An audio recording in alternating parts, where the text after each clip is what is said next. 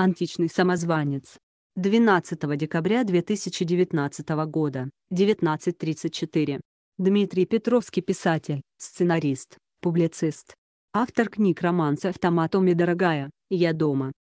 Вы будете смеяться, но мы опять про Гасана Гусейнова.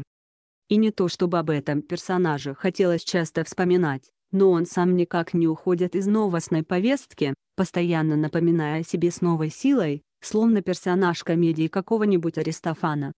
На сей раз о профессоре Вше, называвшем русский язык клачным, Донбасс Донбассом, а ополченцев бандитами, вспомнил дизайнер Артемий Лебедев, вытащив на свет одну его книжку. Также по теме.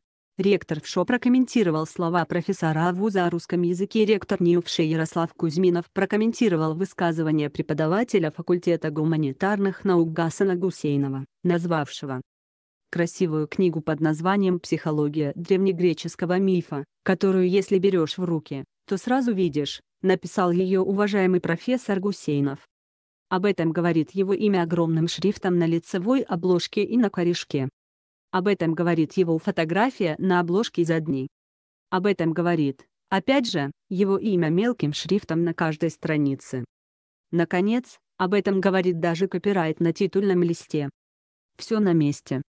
Кроме одного нюанса, книгу писал не Гусейнов.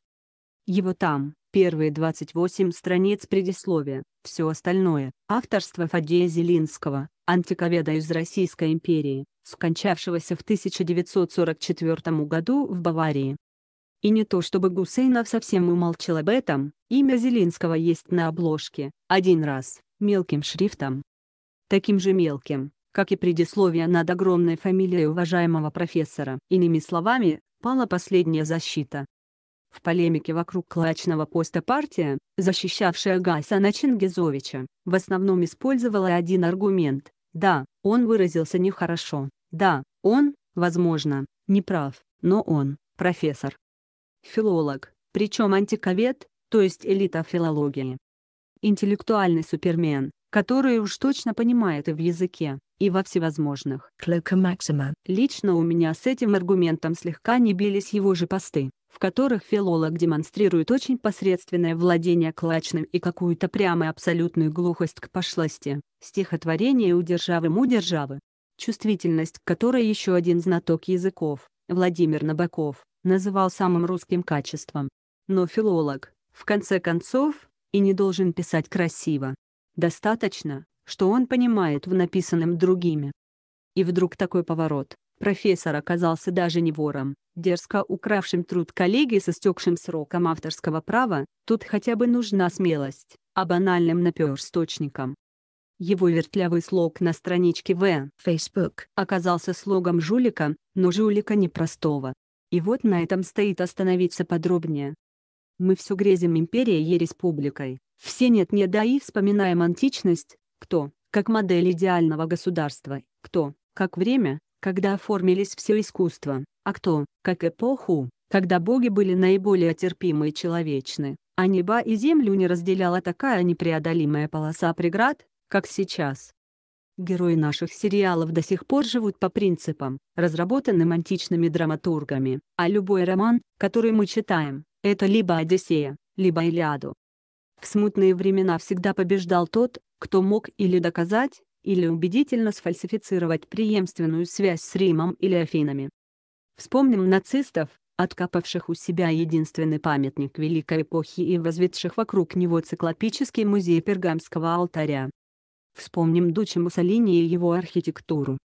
Не забудем и Сталина, застроившего Москву неоклассицистическими монументальными зданиями с изображением рабочих в образах римских героев. Правда, с теми, с кем античность – самая идеальная эпоха в истории человечества.